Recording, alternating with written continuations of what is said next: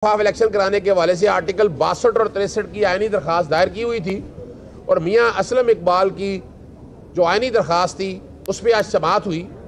Justice Ali बाकर नजफी की court में अदालत को बताया कि आइन के आर्टिकल 220 के तहत इलेक्शन कमीशन का काम साफ़ शफाफ आर्टिकल दो सौ तीन के तहत साफ़ शफाफ करवाना है और तमाम एग्जेक्टिव वफाक में और सूबे उस पर अमल दरामद करना लाजमी है। सुप्रीम कोर्ट ने 22 दिसंबर को कहा और इलेक्शन कमीशन के ज़रिए ये टास्क लगाई, मगर यहाँ क्या हो रहा है? यहाँ आइन टूट रहा है।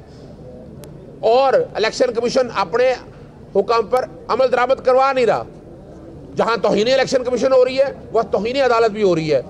नब्बे फ़ीसद जो कागजात हैं, वो बेबुनियाद ग्राउंड्स पर खारिज किए हैं। मिसाल, इश्तिहारी, कोई प्रोविज़न नहीं है इश्तिहारी के हवाले से। प्रपोजर और सेकेंडर को वहाँ पहुँचने देना था, उन्हें पहुँचने नहीं दिया गया। अदालत के सामने यही चीज़ें रखी हैं। ये इलेक्शन कमीशन का काम था। पुलिस का काम नहीं है ये वाला। क्यों रोक रही है उनको?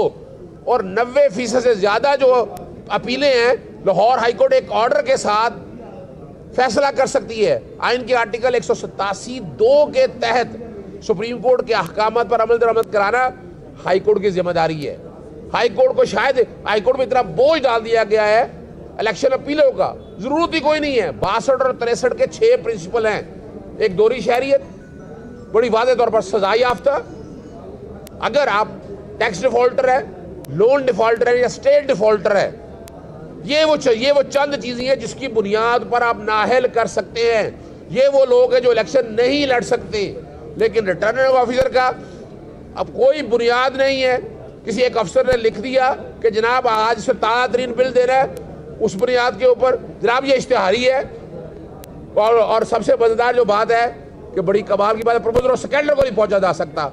अदालत से आज गुजारिश यही की है कि अदालत ने अगर रिमार्क्स थे कि यह मामला सुप्रीम कोर्ट में जाना चाहिए, हमने कहा सुप्रीम कोर्ट जाने की ज़रूरत नहीं है। Article one eighty seven two इस हाई कोर्ट को इख्तियार देता है। अब ज़िम्मेदारी इन हाई कोर्ट के ऊपर है। आर्टिकल सत्रह और बुनियादी हकूक के तहफ़ के लिए अदालत, यानी मियाँ असलम इकबाल में क्या हुआ? कि प्रपोजर और सेकेंडर को अदालत ने हुक्म भी जारी किया, मगर उसके बावजूद भी कंप्लेंट अगर फ़ाइल करनी है, कोई इस्तगासा करना है तो हाई हाई कोर्ट का इख्तियार है कि हाई कोर्ट इस सारे मामले को टेकअप करे और मुनासिब ऑर्डर जारी करे। साफ़ शफाफ इलेक्शन करवाना, जहाँ इलेक्शन कमीशन की ज़िम्मेदारी है, वहाँ अदालतों की ड्यूटी है।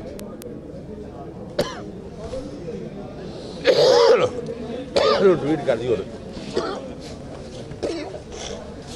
भाई